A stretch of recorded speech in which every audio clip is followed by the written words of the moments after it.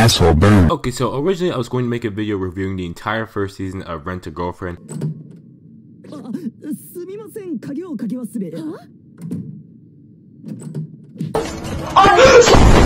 But because of online schooling being a little shit show for me, I was too late to start editing the video and now I need to wait until at least the last episode airs if I want to talk about the show itself. More. Yeah, more, more.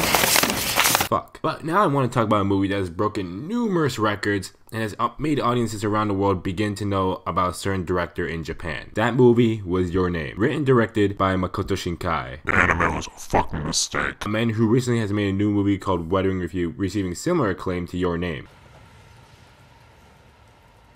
Sorry, but no. I told you!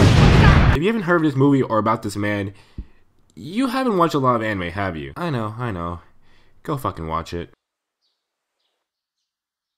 あいつに悪いか。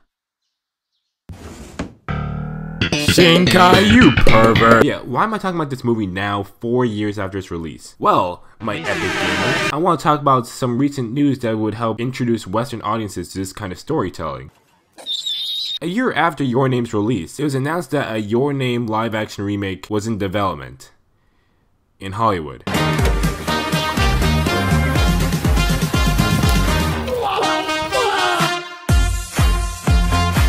You know who the writer was gonna be? Eric Heisserer.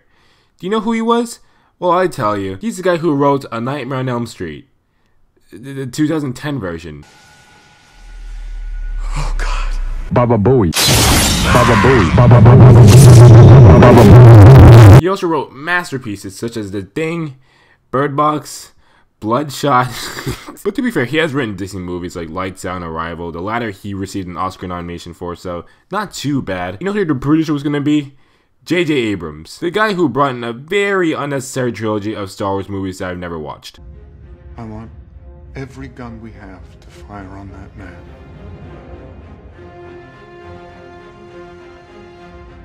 Do it. You know who the director was going to be? Marc Webb, the guy who directed the first and second Amazing Spider-Man movies, and yeah, that's it. I'm gonna be right back Now, this remake looks pretty underwhelming, right? It's just gonna be a bunch of white people not knowing what the crap they're doing and write a little shit show for us to pay full price for. It will eventually be a disappointing, disappointing investment. But recently, directing and writing responsibilities have been given to a different filmmaker by the name of Lee Isaac Chung. big Chungus, Big Chungus. Big, big Chungus, Big Chungus, Big Chungus. Who on paper looks like someone with a strong vision and is ready to recreate something as great as this. He's pretty unknown at the moment, as most of his films and documentaries don't even have a Wikipedia page, but from my personal perspective, this is what the remake needs. Because the original people that were in charge to recreate the story, they were very experienced. But it's just that a film like Your Name heavily relies on balance in its storytelling and its visuals. Which, if you if a live action remake were, were to be done, it's gonna have a lot of CGI and you're gonna need to balance that with a very complex story. And most of the films these guys have made have struggled to keep the story steady. Now, new guy in charge. Exciting. He's Asian. That's good.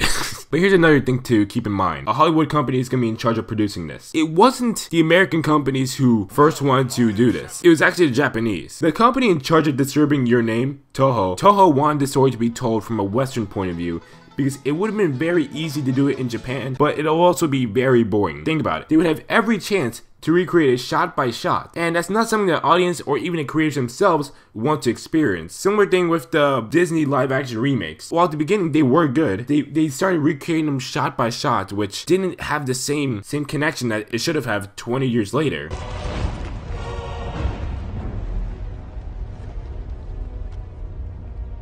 Scar!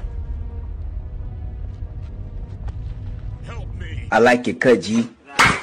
So by having the story told in a different perspective and setting, they can really dig deeper to make this an even better film than what Shinkai could have made. Even Shinkai himself was disappointed with the final product of the movie, simply because they were not given enough time to create it, which is an advantage the remake has. They really can make this story as beautiful as it should be, at least in Shinkai's eyes. And when asked about the script for the movie, before they would decide to replace the writer and director, he said that it was honestly looking good so far, which is already a great sign from the guy who made it. But all we can really do now is hope they pull off a near impossible task. Make it on the same level, if not a higher level, as the original. This is something that can't be messed up which I personally hope will have audiences here who are not interested in anime be interested and affected by their unique storytelling. So yeah, so far these are good news that this film is not being rushed out into theaters to make some money, that they're taking their time with developing it, and are still working to do the original justice. So what do you guys think? Is this a good thing? Is this a bad Baba thing? Booey. Fingers crossed. Let's hope it goes well. Thank you all for watching, and I will start recording the Rent Girlfriend video as soon as the last episode releases.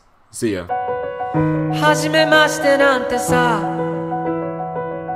遥か彼方へと言い合って千年周期を一日で生きしよう。